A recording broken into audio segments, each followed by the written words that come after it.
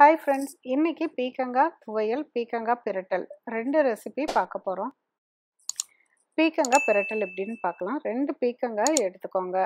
இந்த மாதிரி வந்து ஒரு பீலர் வச்சு தோல்லாம் நல்லா சீவிடுங்க ஃபுல்லாக தோலை சீவிட்டு ஃபஸ்ட்டு ஒரு தடவை கழுவிட்டே சீவுங்க. அதுக்கப்புறம் மறுபடியும் ஒருக்கா வாஷ் பண்ணிக்கோங்க. இந்த தோலெல்லாம் தனியாக எடுத்து வச்சுக்கோங்க.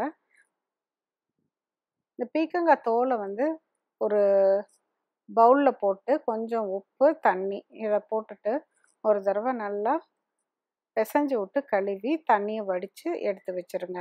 இப்போ நம்ம பெரட்டல் எப்படி செய்கிறதுன்னு பார்க்கலாம். இப்போ இதை மறுபடியும் நான் ஒரு தடவை கழுவிட்டேன். இந்த மாதிரி சின்ன சின்னதாக கட் பண்ணி தனியாக ஒரு தட்டில் எடுத்து வச்சுருங்க. ஒரு பேனில் ஒரு டேபிள் ஸ்பூன் ஆயில் விட்டு எண்ணெய் நல்லா சூடானதுக்கப்புறம் கொஞ்சம் கடுகு கடலைப்பருப்பு போட்டு நல்லா பொரிச்சிருங்க. கடலைப்பருப்பு நல்லா பொரிஞ்சதுக்கப்புறம் பொடியாக நறுக்கின ஒரு பெரிய வெங்காயம் வதக்கி விட்டுருங்க.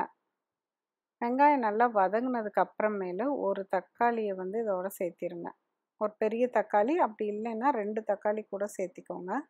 ரொம்ப போட்டிங்கன்னா கொஞ்சம் புளிப்பாட்டாயிரும் இது கூட மஞ்சத்தூள் மிளகாத்தூள் கொஞ்சமாக சீரகத்தூள் அப்புறம் உப்பு சேர்த்து இப்போ வெங்காயமும் தக்காளியும் நல்லா வதங்குற அளவுக்கு வெட்டுறேங்க அதுக்கப்புறமேலு நம்ம பொடியாக அரிஞ்சு வச்சுருக்க பீக்கங்காயை இதில் சேர்த்திக்கலாம்.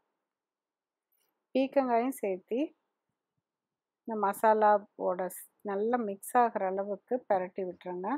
இதுக்கு வந்து தண்ணி நல்லா விடும். அதனால் தண்ணி ஊற்றாமல் ஒரு ஏழு எட்டு நிமிஷம் வேகிறதுக்கு மூடி வச்சுருங்க. அதுக்கப்புறம் திறந்து நல்லா ஒரு பெரட்டு பெரட்டி விட்டு மறுபடியும் மூடி வச்சுருங்க. ஒரு ஒன்று ரெண்டு நிமிஷத்துக்கு மூடி வச்சுட்டு எடுத்துருங்க. இந்த அளவுக்கு வந்துடும் நல்லா பாருங்கள் ஒன்று சேர கலந்து வந்திருக்கு. இது கூட கொஞ்சம் கருவேப்பிலையை நல்லா பிச்சு சேர்த்திருங்க. இது ரொம்ப ட்ரையாகவும் இருக்காது. இந்த மாதிரி தான் இருக்கும். இது கூட வந்து ரெண்டு டேபிள் ஸ்பூன் துருவன தேங்காய் சேர்த்திக்கோங்க. தேங்காய் நிறைய சேர்த்துனீங்கன்னா இது ரொம்ப டேஸ்டியாக இருக்கும். அவ்வளோதான் நம்ம பீக்கங்காய் பிரட்டல் ரெடி ஆயிடுச்சு இப்போ துவையல் எப்படி செய்யறதுன்னு பார்க்கலாம். துவையலுக்கு நம்ம ஏற்கனவே கழுவி ரெடியாக வச்சுருக்கோம். பீக்கங்காய் தோல். இப்போ ஒரு பேனில் எண்ணெய் ஊற்றி காஞ்சதும் உளுந்து முழு உளுந்து உடச்சி உளுந்து எதுனாலும் சரி உளுந்து போட்டு ரோஸ்ட் பண்ணிக்கோங்க. லைட்டாக கலர் மாறுறப்ப நாலு மிளகாய் வத்தல்.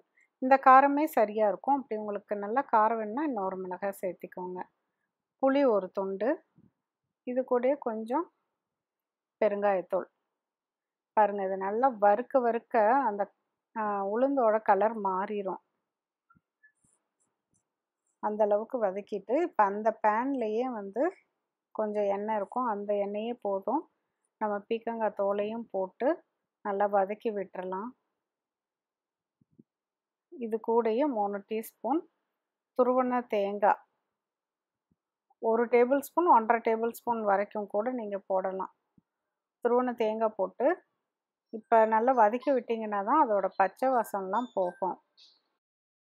நம்ம வறுத்து வச்சுருக்கிற அந்த உளுந்து மற்ற சாமானோட சேர்த்து இந்த பீக்கங்காய் தோல் தேங்காய் வ வதக்கியிருக்கோம்ல எல்லாத்தையும் ஒரு மிக்சி ஜாரில் ஆறுனதுக்கு அப்புறமேலு போடுங்க.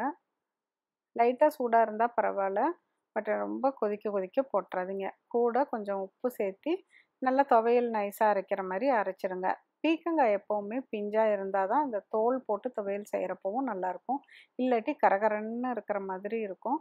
இது சூப்பரான ஒரு டேஸ்ட்டோடு இருக்கும். செஞ்சு எண்ணெய் ஊற்றி சாப்பிட்டு பாருங்கள் சூப்பராக இருக்கும். மீண்டும் ஒரு புதிய ரெசிபியோடு சீக்கிரம் உங்களை மீட் பண்ணுறேன் தேங்க்யூ